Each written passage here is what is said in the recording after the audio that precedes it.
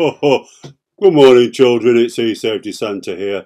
This is day two of my advent calendar. Now, I'm getting lots of requests this year from boys and girls about using new devices, uh, these tablets and games consoles and even smartphones. Oh, it, it, it, it's all very, very new to me. I remember when it was just wooden toys and board games. Anyway, it's really important that if you are getting one of those for Christmas, if you've been a good boy or girl, then mums and dads ensure that it's safe to use.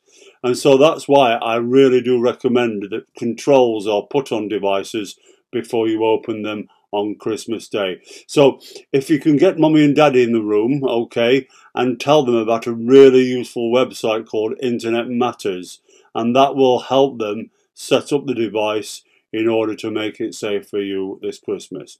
Well, anyway, that's me off now because I've got to go and help in the workshop. See you again tomorrow then. Bye-bye.